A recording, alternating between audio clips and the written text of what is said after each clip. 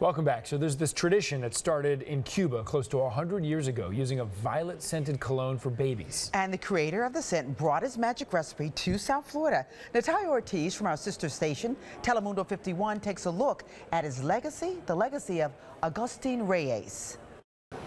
The popularity of violet scented cologne is evidenced by the entire shelving units devoted to the more than 10 brands of the fragrance in many Miami drugstores. It's a product the Cubans have been dousing their babies with for generations, and it started with one man 90 years ago. If you've ever been around a baby of Cuban descent, you've likely noticed the smell of violets in the air. It's a tradition that started in 1927 Havana by a man named Agustin Reyes. He went to Grasse to learn for about, I think, uh, six months. And with, with that, he, you know, with his own knowledge, um, uh, created a formula that that few people have ever been able to replicate. It.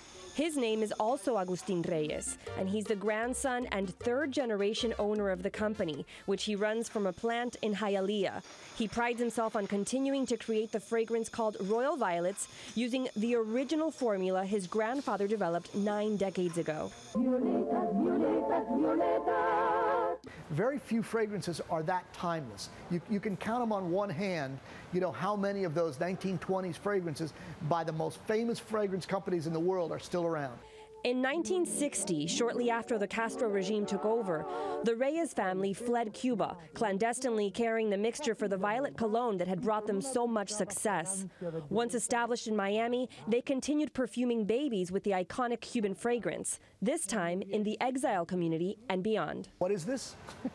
you know, what do you use it for? And so you had to explain to them, and then perfume for babies. The product is a staple in most Hispanic American homes, regardless of age or economic status. Reyes says Gloria and Emilio Estefan purchased the product by the case, and the actress Eva Mendes has repeatedly included the fragrance in her list of favorite products, leaving us wondering if Ryan Gosling uses it too. Tell me, what do you think your grandfather would say if he were still alive and he saw it? But I think he would be extremely proud that what he did is still around. Unlike most companies which outsource the production of their fragrance to an outside company, this family-owned business continues to produce their own fragrance in-house. I'm Nathalia Ortiz for NBC6 News. Back to you.